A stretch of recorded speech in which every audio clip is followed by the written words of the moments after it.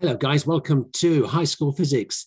Today we're doing electricity. We're going to look at resistance, we're going to look at current and voltage, and we're going to look at a couple of other things as well. So as some of you know already, we're vaguely following the Cambridge syllabus, CIE, and uh, the code for that is 0625. But this is just physics, guys, so it just works for any syllabus.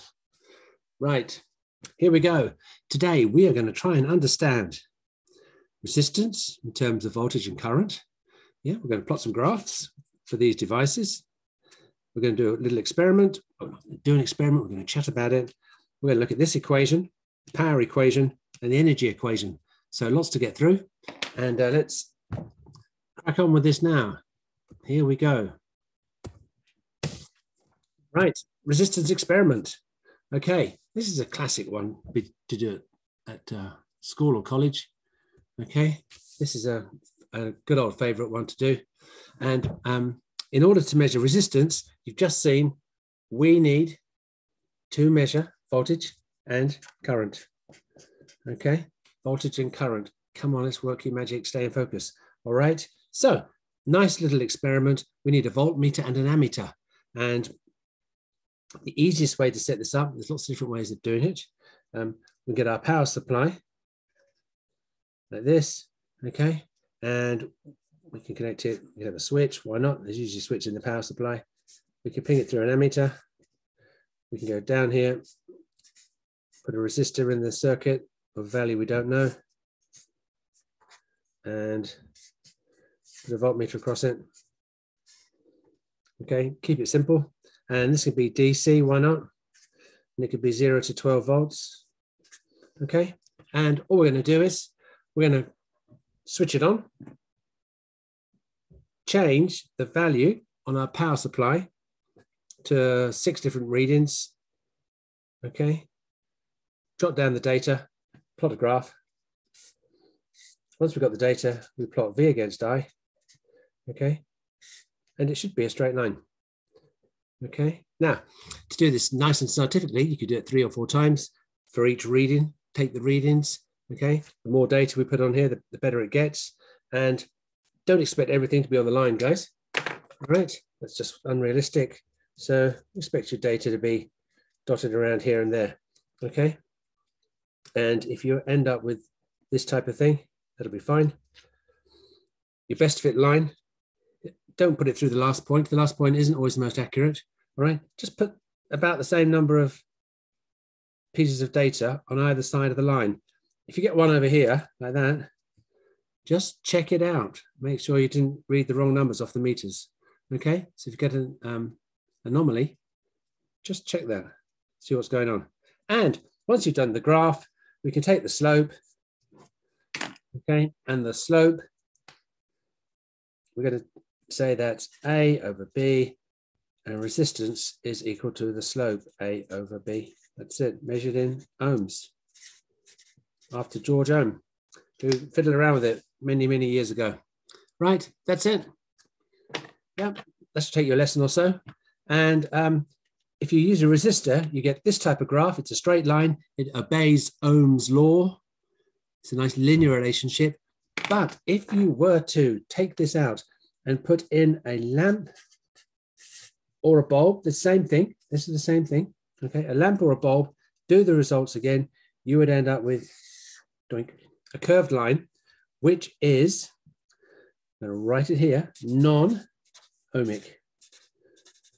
Okay, so these here are non-ohmic. All that means is it doesn't obey, doesn't obey Ohm's law. It's not a straight line. Okay, and as it gets hotter, more current makes more heat. As it gets hotter, the lattice vibrations go up.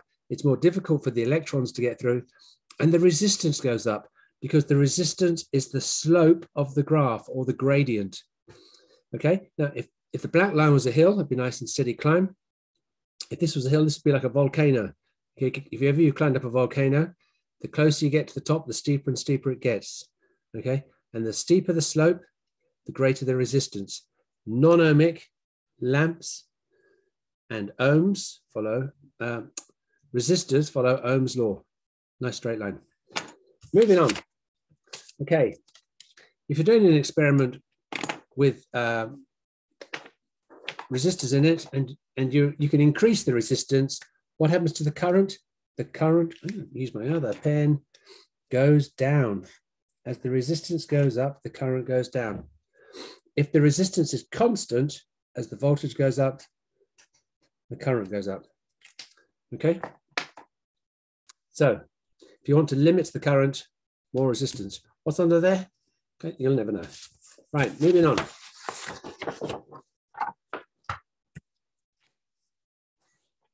Resistance of a wire. Now, I could get you a piece of wire and we could um, plug it into a multimeter and we just move the, the, the, the little connections along on the multimeter. And as the length goes up, the resistance goes up. So if you've got a piece of wire, resistance is proportional to length. Okay, so always think of electricity. If you want to get your head around this, guys, think of it as a pipe. If you've got a pipe, got a hose pipe in the garden, you're putting water through it, water current, current, yeah. So you can see the kind of similarity here. It's, it's just an analogy, all right, that's all it is. If the pipe is longer, the longer the pipe gets, the more difficult it is for the water to get through. So the resistance goes up with length. But it's the same with electricity. Okay, similar type of idea. The longer the pipe, the greater the resistance, the shorter the pipe, easier it is for the electricity, uh, the uh, water to get through. Same with the wire. Um, the resistance is proportional to length. Now, sticking with pipes, guys, if we had a pipe, nice big fat pipe like this, the water would get through easier. Yeah, we can easily get the water through there. The same thing happens with a wire. With a wire, guys, as the area, uh, I'll show that. Well, we'll put it here. As the area, and what I mean by area is actually the cross sectional area. That is, if you looked at the end of the wire, okay, so or the end of the pipe, the cross sectional area is that piece at the end, okay. So it's that piece in the end there. That's the cross sectional area. Yeah, there. As the cross sectional area goes up, the resistance will go down. Guys, take a look in the bathroom if you don't believe me. All right, the fresh water comes in a nice thin pipe because there's not much resistance there. And on the back of your toilet or somewhere in there, there's a big fat pipe about four inches across. Yeah, because we don't want anything there to be hanging around. We want the least resistance possible to get that out of the place. Okay, so you see it with water pipes, and it's the same with electricity. As the cross sectional area goes up, the resistance goes down. So if you've got a big fat wire, it's got less resistance than a little skinny one. Okay, so for this, R, R is proportional to 1 over A. Now, we're quite lazy in physics. You know that, guys. We're a lazy bunch because we're always using formulas. We're not writing everything down. We're not going to write a sonnet about this or something. Yeah, or an essay. Well, actually, really lucky. And as the area goes up, the cross-sectional area, the resistance goes down. So now we've got this. We've got R is proportional to L over A. Okay, now we want to get rid of our little fish here, don't we? Yeah, we're not too happy with the fish. We want an equal sign. And to get rid of our fish and turn it into a sandwich, we need to put a constant in there. Okay, and that constant is, we've used this letter before. Okay, yes, well done, you guys, if you've remembered that. It's rho, it's that Greek letter. Okay, now it's not density. It's the same letter, but it's not density. it is something called resistivity. It's got an easier name. We also call it specific resistance. It's a constant for certain materials. If you've got copper, you've got pure copper, it, it's just a value. Okay. the unit for it is, you can work the units out yourselves, but um, you will figure out pretty quickly the unit is ohm meter, not ohms per meter, ohm meter. All right. It's just a constant. It's just to take our equation from a fish into a sandwich. Okay. It's our constant. You're usually given that number. In an exam, you'll probably be given that number and have to work out the length or something. Okay. So it's it's not as scary as it looks. Uh, the numbers tend to be quite small, right? They tend to be very small numbers. So um, could be 10 to something 10 to the minus 6, 10 to the minus 8, that order of magnitude. Um, and that's how it works. And the way they're going to catch you out in an exam is they're going to say, here's a piece of wire, the resistance is X, and their wire is going to be three times as long, and it's going to be four times as uh, big in terms of area. The area, the cross-sectional area is going to be four times larger. What's going to be the new resistance? Aha. Now that could be a bit tricky, but we do need some tricky physics, don't we? All right, to keep us on our toes. So rho, not density, specific resistance, resistivity. It's an unusual word. Okay, you lovely bunch. Moving on, we have power. Oh, and on this one here, guys, if you wanted to do this as an experiment, then uh, there's lots of ways of doing this.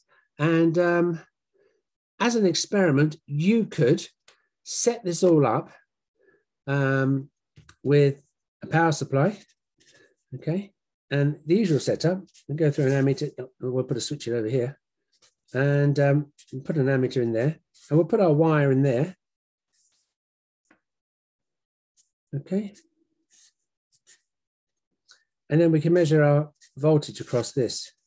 Now, you can measure the cross-sectional area of the wire by using a micrometer. You've heard of a micrometer. Yeah, or you can just take the gauge off, off the, the reel, the wire will come on a reel, it'll have a gauge on it. You can work out the cross-sectional area. So we calculate that, or we use a micrometer screw gauge. You measure the length of the wire, okay? And then the resistance, well, you just take a few readings. You close the switch, take a few readings, and you've got it. You're going to plot a graph of V against I. And then you work out the resistance. Then you change the wire and do the whole thing again. And different length, like a shorter length and a longer length, okay? You get all these different values for the resistance of the wire. You can key, key those all in, area, length, find out rho.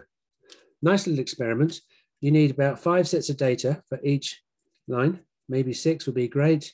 Don't do dots on, on your real graph, do little crosses, okay? You know that, you don't need me to remind you. You should be doing crosses, not dots.